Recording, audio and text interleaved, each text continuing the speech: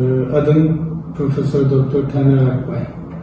Malzeme Bilimi ve Nanoteknoloji Mühendisliği bölümüne e, geçtiğimiz Kasım ayında katıldım. E, yalnız başlamadan önce ben de bir teşekkür etmek isterim. Şöyle ki, e, başta kurucu başkanımız Sayın Bedrettin Dalan Beyefendi'ye olmak üzere, rektörümüz Sayın Canan Aykut Bingöl hocamıza ve tüm Yeditepe ailesine beni aralarına kabul ettikleri için teşekkür ediyorum. Öte yandan 2232 programı kapsamında projemi desteklenmeye layık gördükleri için e, TÜBİTAK'a da ayrıca teşekkür etmek isterim. Orta Doğu Teknik Üniversitesi Metalurji Mühendisliğinden lisans ve yüksek lisans diplomalarımı alıp e, doktora çalışmalarım için o zamanki Avrupa Komisyonu desteğiyle yurt dışına çıkışım bundan tam 30 sene öncesine rastlıyor.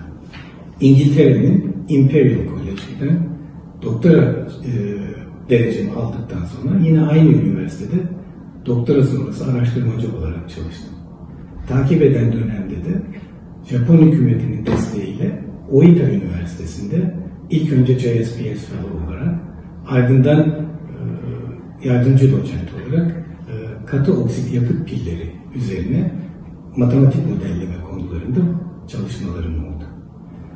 Bunu e, takip eden e, dönemde de birazcık akademik yaşamıma ara verip e, endüstride e, çalışmak istedim ve Mitsubishi'nin Merkezi Araştırma Enstitüsü'nde yakıt pillerinin araştırma ve geliştirme çalışmalarına katıldım.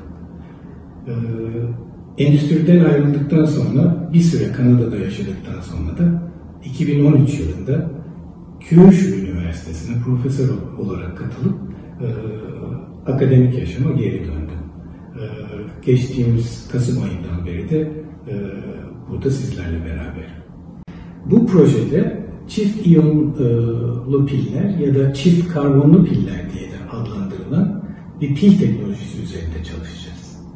Bu pil teknolojileriyle halen yaygın olarak kullanılmakta olan lityum iyon pillerinin e, daha ileriye götürülmesi ya da e, onlara bir alternatif olacak bir e, teknolojinin geliştirilmesini hedefliyoruz.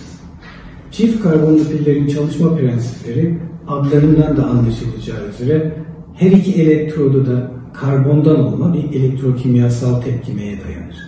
E, dolayısıyla içerdikleri karbon dolayısıyla da hem üretim süreçlerinde hem de geri dönüşüm süreçlerinde lityum iyon pillerine kıyasla daha çevre dostu teknolojilere gereksinim duyulur. Modern hesaplamalı malzeme bilimleri e, teknikleri kullanılarak karbon elektrodlarla uyumlu çalışabilen yüksek iyon iletkenliğine sahip elektrolit yapılarının oluşturulması ve elektrolit elektrot arayüzeylerindeki etkileşimin incelenmesi çalışılacak. Projede hedeflenen ana çıktılar ise enerji yoğunluğu daha yüksek çift karbonlu pillerin geliştirilmesi ve bunun için gerekli olan interkalasyon bileşiklerinin belirlenmesi olarak söylenebilir. Alternatif enerji kaynaklarının daha verimli bir şekilde kullanılması için olmazsa olmaz diye nitelendirebileceğimiz enerji depolaması konusundaki çalışmalara Yeditepe Üniversitesi olarak katılıyor olmamız bence oldukça önemli ve değerli bir kazanım.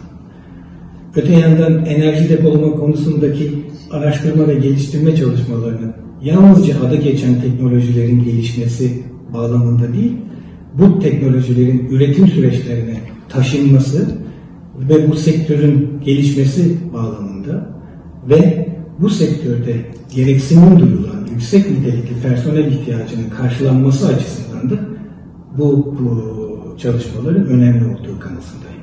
Bu da takdir edersiniz ki enerji kaynakları kısıtlı olan ülkemiz için çok önemli bir kazanım. Japonya Yeni Enerji ve Endüstriyel Teknoloji Geliştirme Organizasyonu NEDO ve Almanya Federal Eğitim ve Araştırma Bakanlığı BNBF arasında 2010 yılında imzalanmış MOU kapsamında zaten her iki ülke pil teknolojileri konusunda ARGE çalışmalarını planlı bir işbirliği içerisinde yürütmekteler. Bu projeyle şimdiye dek iki üniversite arasındaki işbirliğine Yeditepe Üniversitesi olarak katılmış olmamız güzel bir gelişme olacak. Çift karbonlu piller konusunda lider konumda olan bu iki üniversite ile beraber çalışıyor olmak da takdir edersiniz ki çok önemli. Yeditepe Üniversitesi Proje Yönetim Ofisi'ne bu imkanı bana sağladığınız için teşekkür ediyorum. Önümüzdeki süreçte projenin yürütülmesine vereceğiniz değerli katkılarınız için de şimdiden teşekkür ediyorum.